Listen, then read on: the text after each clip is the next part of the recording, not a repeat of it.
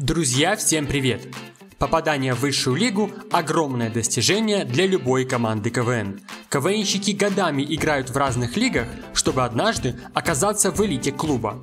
И как только команду берут в вышку, она всеми способами пытается там задержаться. До финала доходят немногие. Большинство команд отсеиваются на отборочных этапах. Главная причина – проигрыш. Однако в истории КВН есть случаи, когда КВНщики завершают выступление в сезоне высшей лиги раньше времени. В этом видео я расскажу о командах, которые покинули вышку по причинам, не связанным с результатами игры. В 1990 году в Днепропетровске прошел первый фестиваль команд КВН. Его главной целью было определение участников нового сезона.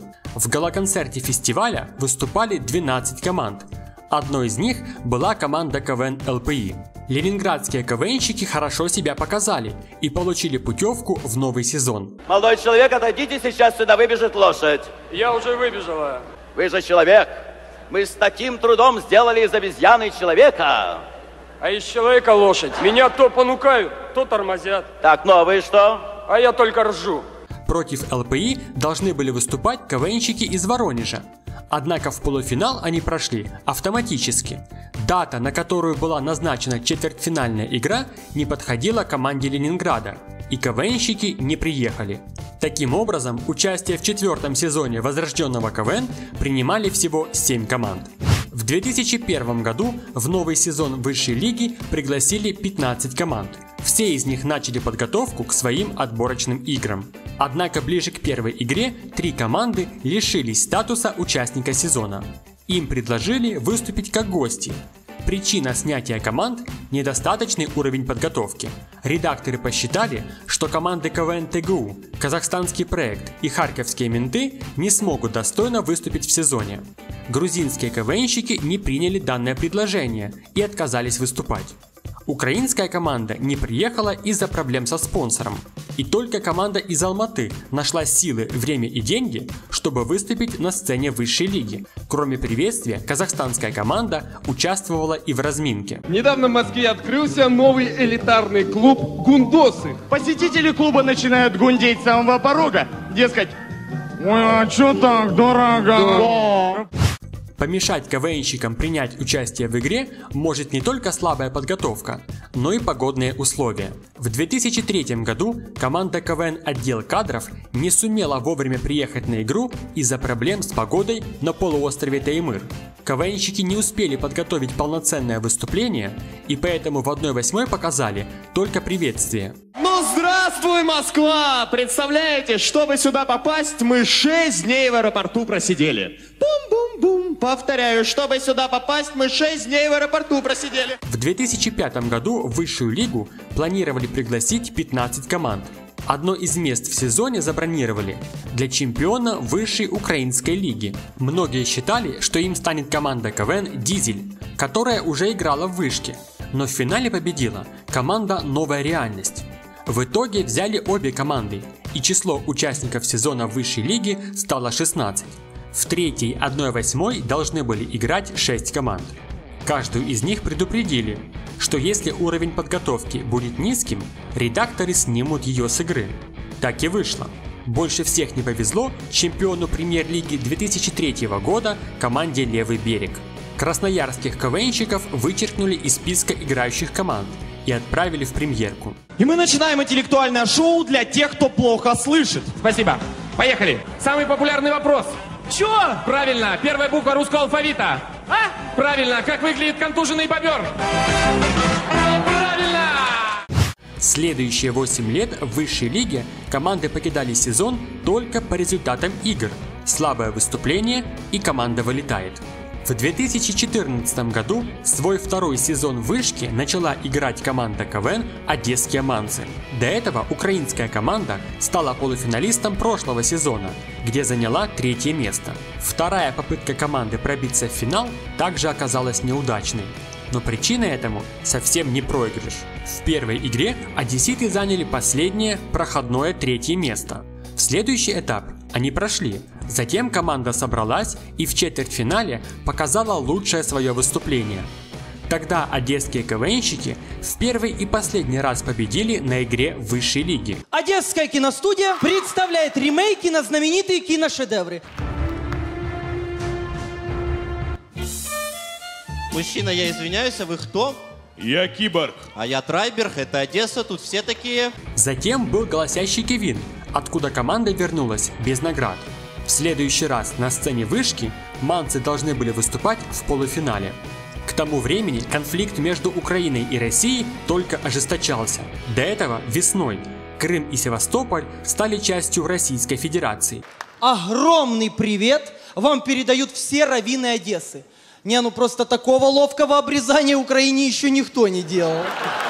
После сольного концерта одесских манцев у себя в городе капитан Сергей Середа заявил, что команда не едет на полуфинальную игру. Таким образом, КВНщики выразили свою гражданскую позицию и солидарность с украинским народом.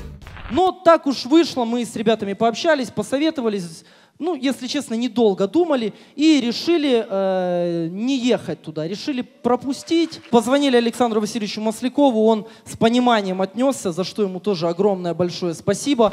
Также в группе ВКонтакте одесситы оставили сообщение, что хоть они больше не выступают в высшей лиге, команда не распадается. Свой творческий путь одесские манцы продолжили в Лиге смеха, а также в других украинских телевизионных проектах. Год назад команда КВН «Актеры» также покинула сезон высшей лиги, и причиной этому были разногласия с АМИГ. После успешного выступления в сезоне премьер-лиги команду из Санкт-Петербурга пригласили в главную лигу КВН. Заняв третье место в первой игре, актеры прошли в следующий этап и стали готовиться к четвертьфиналу. Я покажу тебе небо в алмазах, А я покажу тебе небо в алмазах и тысячу дам. а я тебе тысячу дам. А я тебе тысячу дам и тысячу дам. В этот период команде поступило предложение принять участие в съемках шоу Максима Галкина «Лучше всех». Недолго думая, актеры согласились. Ребята помогли участнику программы и сделали это бесплатно. А вот про зубную щетку. Ну, мы в походах такими не пользуемся просто. Это заметно. Р- расскажите что-нибудь. Однако через некоторое время на сайте КВН команда актеры исчезла из списка участников 1-4 финала. На их месте появились волжане. Комментариев по поводу изгнания команда не давала. Многие ждали, что скажет Амик. Позже на сайте клуба появилось официальное письмо, которое прояснило ситуацию. Актеры нарушили условия контракта с компанией Амик, не сообщив вовремя о предстоящей съемке. Участие команды в сезоне высшей лиги было приостановлено, но на голосящий Кевин ребят пригласили. В тот же день в группе ВКонтакте актеры разместили обращение к фанатам, где изложили свое видение ситуации. Если интересно, то ссылки на все материалы будут в описании ролика. Стоит отметить, что в истории клуба уже были ситуации, когда отдельные участники команд снимались в других проектах на других каналах, и тогда все прошло гладко. Команде актеры не повезло. С музыкального фестиваля они уехали ни с чем. Новый сезон тоже не удался. По итогам отборов на фестивале в Сочи команде предложили место в премьерке, но актеры отказались и навсегда ушли из КВН.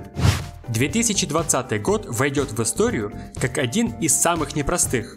Пандемия коронавируса стала главным испытанием человечества. В самом начале сезона высшей лиги трудно было представить, что КВН тоже станет жертвой COVID-19. После игр 1-8 финала и введения режима самоизоляции в Москве провести игры следующего этапа и начать сезон премьер-лиги стало невозможным. Несколько месяцев все КВН-движение было на паузе. И вот недавно стало известно, что игры 1-4 финала вышки пройдут в первой половине августа. Еще одной важной новостью стало то, что играть команды будут не в Москве, а в Крыму. Главная причина такого решения – отсутствие строгих требований на проведение массовых мероприятий. Вот здесь и начались проблемы. Одна из команд, которая отказалась от участия в сезоне – Планета Сочи. Причина не новая для КВН. КВНщики лишились спонсора. Но главным разочарованием был отказ от участия команды КВН «Дети Тьюринга», которая заняла первое место в первой игре. Это наши города, это белая земля, это мой народ любимый, Вот как объяснили свое решение белорусские КВНщики. Первая причина – это невозможность выполнить карантинные меры при пересечении границ разных стран. Вторая и самая важная причина – нейтралитет Беларуси по вопросу Крыма. Дети Тьюринга не могут приехать на полуостров ни через Украину, ни через Россию. Также въехать через территорию России мы не можем, поскольку многие члены нашей команды, у которых есть родственники в Украине, потеряют э, возможность э, увидеть своих э, родных и близких. Кроме этого, ребята не хотят навредить репутации БГУ, и поэтому решили отказаться от участия в сезоне. Но играть они не перестанут. Команда снова идет в сезон лампы, где в прошлом году стала чемпионом. Также за белорусскими КВНщиками закрепили место в следующем сезоне высшей лиги. Была информация, что вместо планеты Сочи и детей Тьюринга в сезоне будут играть такая история и волжане. Однако в списках четвертьфиналистов мы их не увидели. Первая игра 1-4 финала пройдет 9 августа. А сезон премьер-лиги стартует уже в первых числах месяца. Скоро КВН вернется на телеэкраны, и мы сможем болеть за любимые команды. Всем большое спасибо за просмотр и до встречи!